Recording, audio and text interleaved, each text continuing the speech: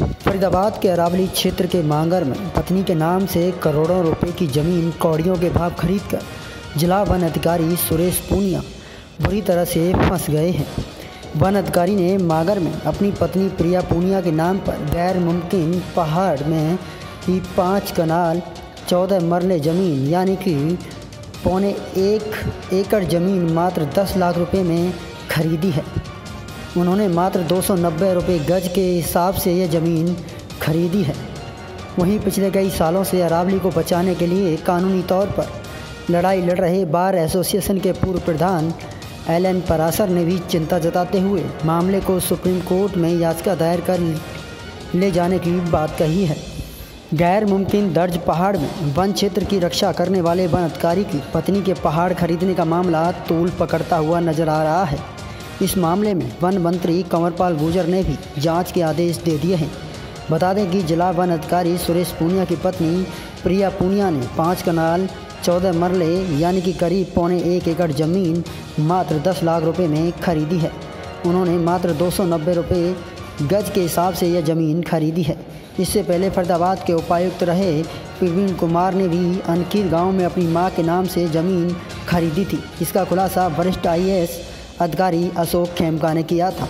इसकी जाँच state vigilance bureau द्वारा कई सालों से की जा रही है। इसके अलावा सूरजकुंड रोड पर डिलाइट गार्डन के पीछे भी अरावली क्षेत्र में राज्य सरकार के एक बड़े आईएएस अधिकारी का फार्म हाउस खासी चर्चाओं में है। निगम के एक अधिकारी का फार्म हाउस भी लोगों की ज़ुबान पर है। इनके अलावा भी कई आईएएस, आईपीएस मंत्री विधायक व पूर्व मंत्रियों के नाम भी अरावली की ज़मीन से जुड़े हुए हैं। इससे साबित होता है कि अधिकारी व नेता फरीदाबाद को सोमनाथ का मंदिर समझकर लूट रहे हैं। जिला बार एसोसिएशन के पूर्व प्रधान एल एन परासर ने कहा है कि अब तो रक्षा की भक्षक बन रहे हैं। वह पूरे मामले की जानकारी जुटाकर सुप्रीम कोर्ट में याचिका दायर करेंगे। वहीं इस मामले में जिला वन अधिकारी सुरेश कुमार पूनिया से उनके कार्यालय पर जानकारी लेने की कोशिश की तो वह साहब कार्यालय से ही नदारद मिले। तो मैं पिछले कई सालों से अरावली बचाने में कानूनी लड़ाई लड़ रहा हूँ। इसके लिए मैंने कई याचिकाएँ डाली हैं, हाई कोर्ट में भी डाली है, सुप्रीम कोर्ट में मैंने कई अधिकारियों के खिलाफ, जिसमें डी, जो अब पहले डीसी थे, उनके खिलाफ भी कोर्ट ऑफ़ कंटेम्प्ट के नोटिस तक इशू किए, कराए हुए हैं।